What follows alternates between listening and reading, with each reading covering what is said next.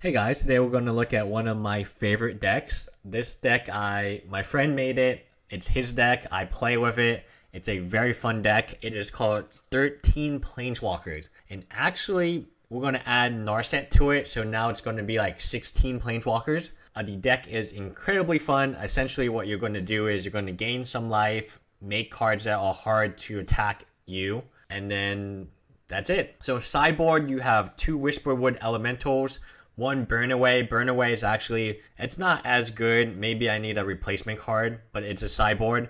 A drag the Dragon Speaker, two Savage Knuckle Blades, uh, two Nylea's Disciplines, mainly to gain the life, and two negates against control. Uh, and also you have Destructive Revelry, uh, one Disdainful Stroke, uh, an Ugin, and a Nissa from the sideboard. So you have Sarkhan, Nissa, and Ugin from the sideboard. All very, very good cards. They come in. It's very difficult to pilot this deck. That's the only bad thing about this particular deck. You don't really know how to pilot it again unless you have done it enough times. Now you're you have a monastery siege, you have a roast, you have a bunch of anger the gods against tokens essentially.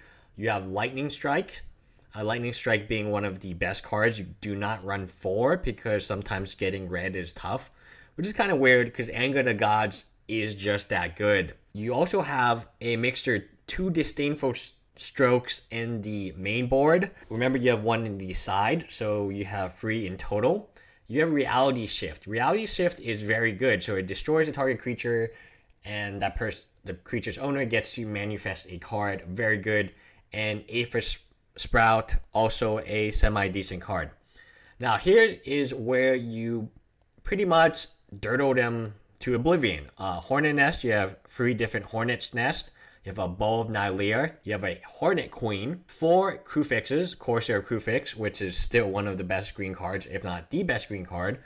Gains you lots, lots of life. Very good against a 2-4 body that gains you life and gets you land.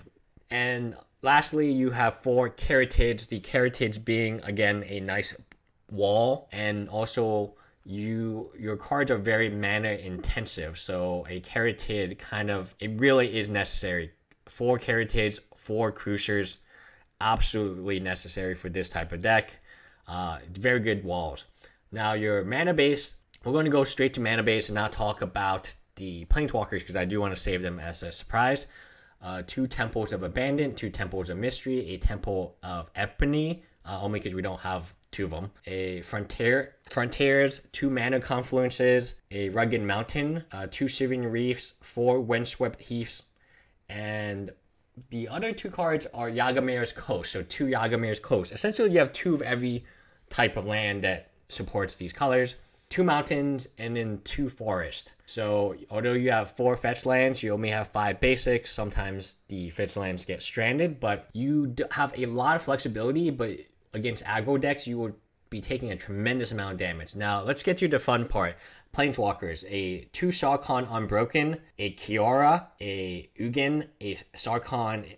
So you have a Ugin and you have a Sarkhan in the sideboard. Two Chandra Pyromancers. So you have a lot of flexibility on each Planeswalker is very different. Some of them are incredibly mana intensive. Chandra is actually one of the harder ones to put out.